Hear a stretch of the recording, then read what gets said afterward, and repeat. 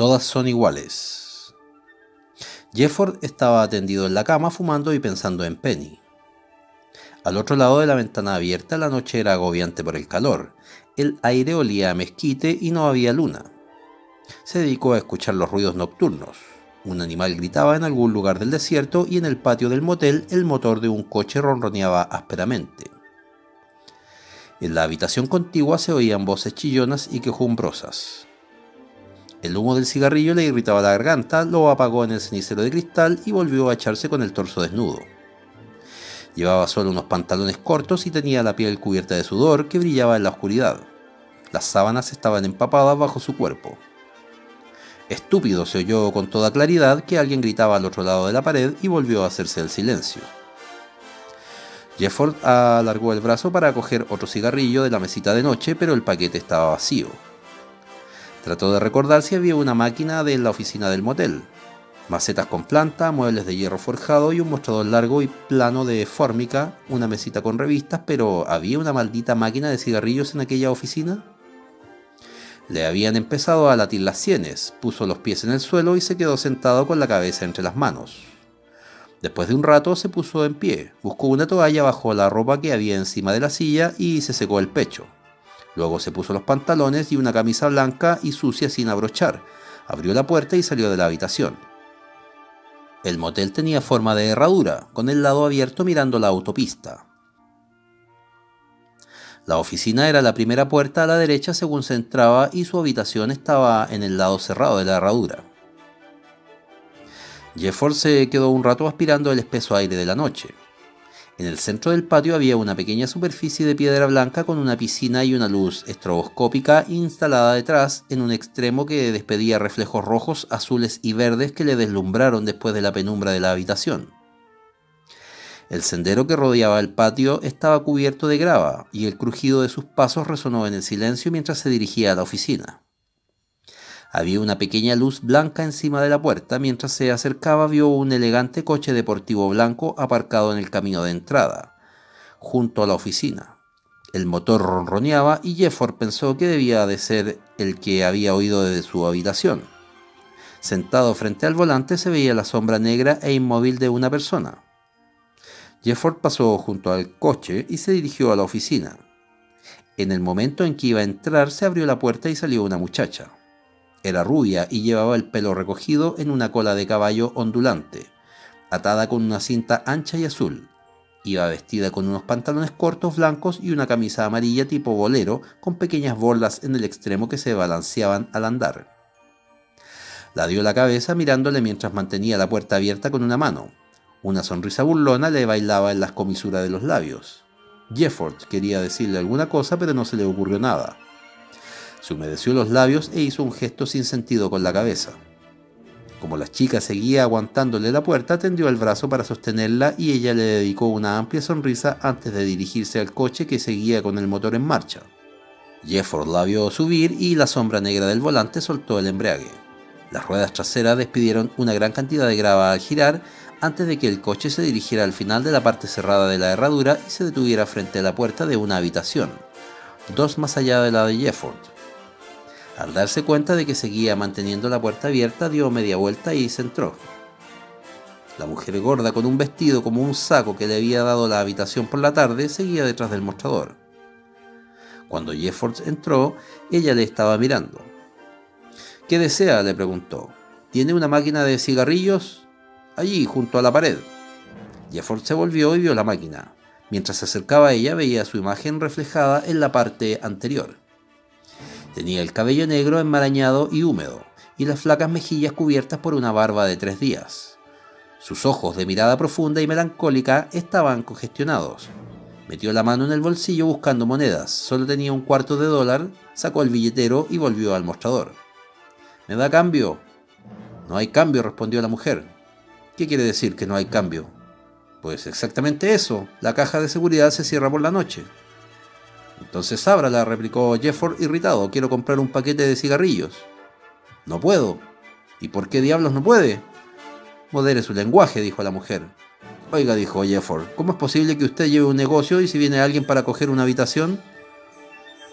Le he dicho que modere su lenguaje, le dijo la mujer. Tenía ojos de cerdito y lo estaban fulminando. Foca vieja, dijo impulsivamente. La cara de la mujer enrojeció de rabia, se levantó y le señaló con un dedo gordezuelo mientras el brazo desnudo le temblaba como un flan. Tendré que echarle de aquí, impertinente, gritó. Salga de aquí inmediatamente o mi marido le hará salir a la fuerza. Jefford se la quedó mirando. Son todas iguales, dijo, no se salva ni una. Dio media vuelta y salió dando un portazo.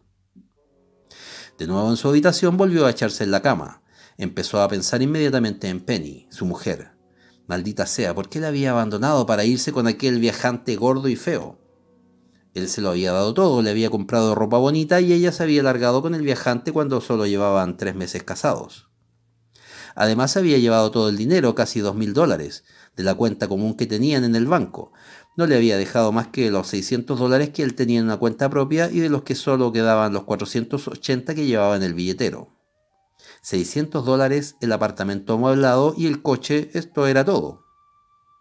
Cuando descubrió que se había ido, se volvió loco. No sabía qué hacer. Finalmente dejó el trabajo, metió apresuradamente sus cuatro pertenencias en el coche y salió a buscarla.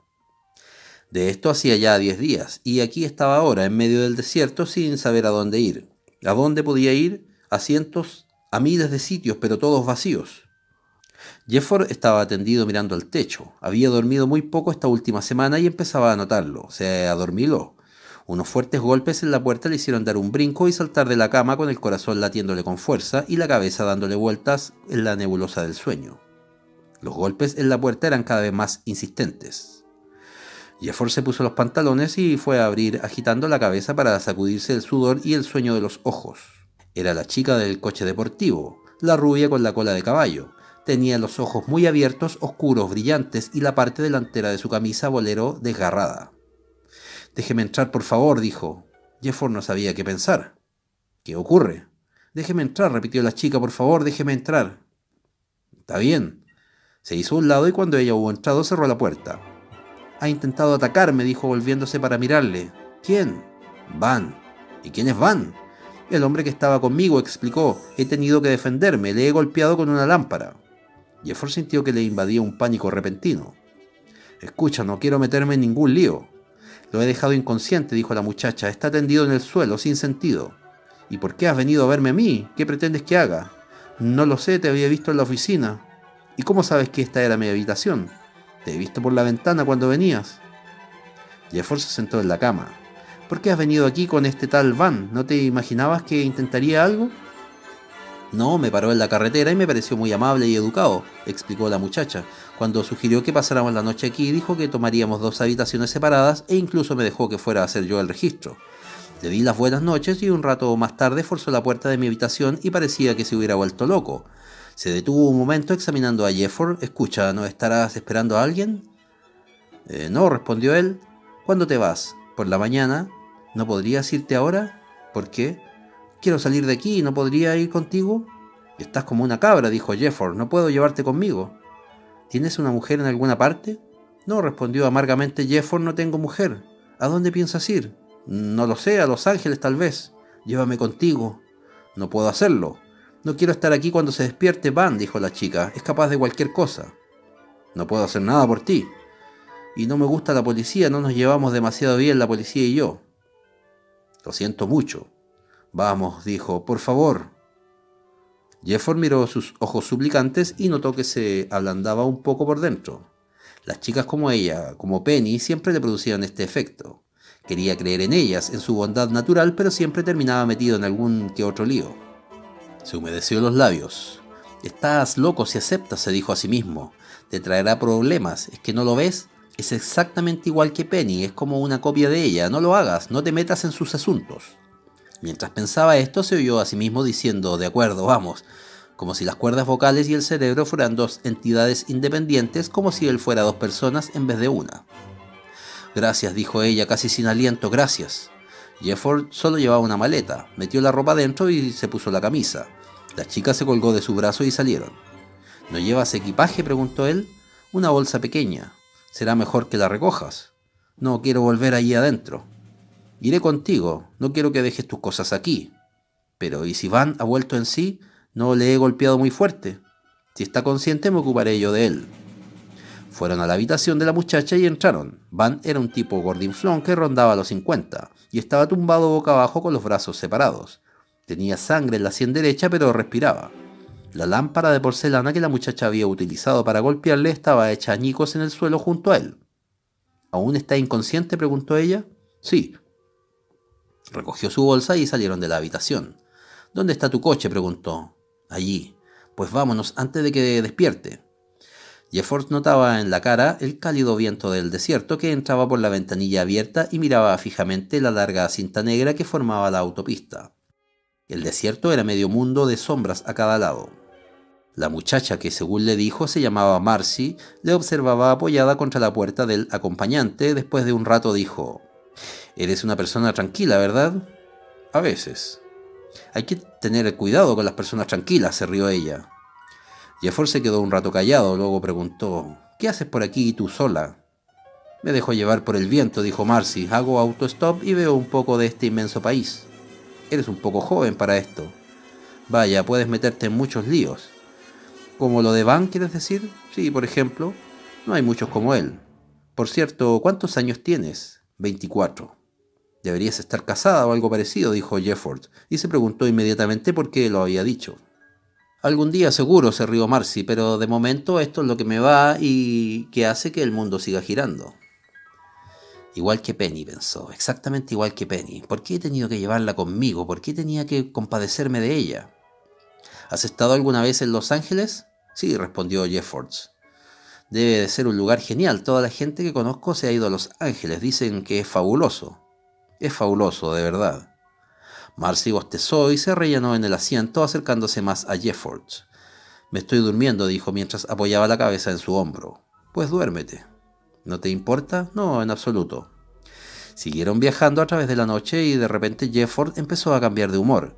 Le llegaba la dulce y suave fragancia del pelo de la muchacha y sentía en el brazo la tibieza de su cuerpo. No es más que una niña, pensó. Un poco rebelde pero agradable, una buena chica. A lo mejor es diferente de las otras, a lo mejor es una de las pocas buenas que existen. Marcy se despertó cuando ya había amanecido. Estaban saliendo del desierto y se dirigían a Barstow. El sol, globo brillante en el cielo del oeste, calentaba con fuerza. El reflejo en el metal brillante del capó hería los ojos, pero a Jefford no le molestaba. No le molestaba en absoluto. Marcy se desperezó. ¿Dónde estamos? En Barstow. ¿Has dormido bien? Como un tronco. ¿Tienes hambre? Muchísima. Pasaremos a desayunar. Comieron huevos con tocino en un pequeño café y Jefford se descubrió a sí mismo despreocupado y de buen humor. Era aquella muchacha la que le hacía sentirse así y no lograba explicárselo. Era casi como si volviera a resucitar, como si las cosas volvieran a tener importancia. Marcy pensó saboreando el nombre, Marcy. Se quedaron un buen rato tomando café y compraron bocadillos para lo que quedaba de viaje. Luego viajaron hacia la costa deteniéndose una vez para comer lo que llevaban. Se rieron y hablaron mucho y Jefford cada vez estaba de mejor humor. Para cuando llegaron a Los Ángeles, poco después de anochecer, se sentía como cuando estaba de luna de miel con Penny, de acuerdo con todo, feliz con cualquier cosa. Bien, dijo, hemos llegado. Sí, ya hemos llegado. ¿Quieres parar en alguna parte? De acuerdo, debes de estar cansado. Estoy muerto. Se detuvieron en un motel junto a la carretera y cogieron dos habitaciones comunicadas por una puerta.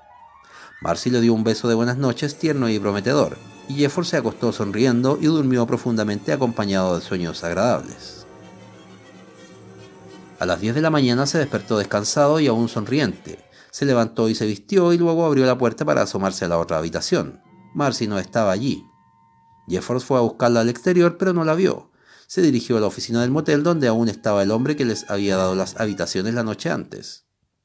¿Ha visto a la chica que venía conmigo? preguntó Jeffords. Sí, claro que la he visto, respondió el hombre. ¿Y dónde está? Se ha ido. ¿Que se ha ido? ¿Dónde?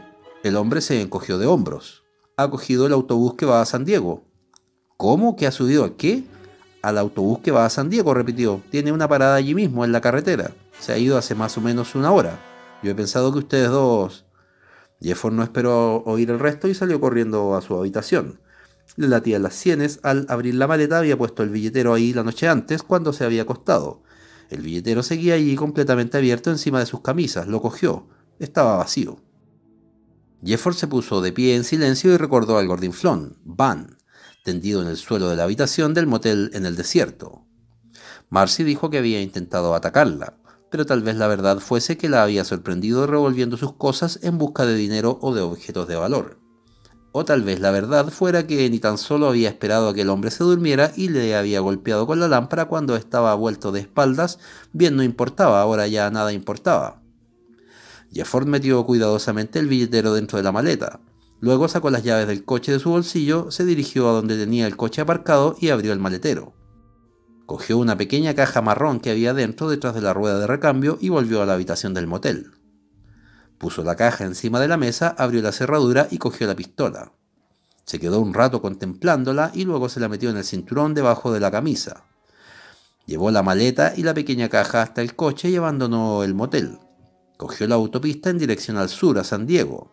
Todas son iguales, pensó. No hay ni la más mínima diferencia entre ellas. Son exactamente iguales en todo el mundo. Sabía lo que tenía que hacer, lo que tendría que seguir haciendo una y otra vez. Cuando encontrase a Marcy, le pondría la boca del revólver contra el corazón y tiraría del gatillo, tal como había hecho con Penny cuando la había encontrado sola en un motel de Las Vegas tres días antes.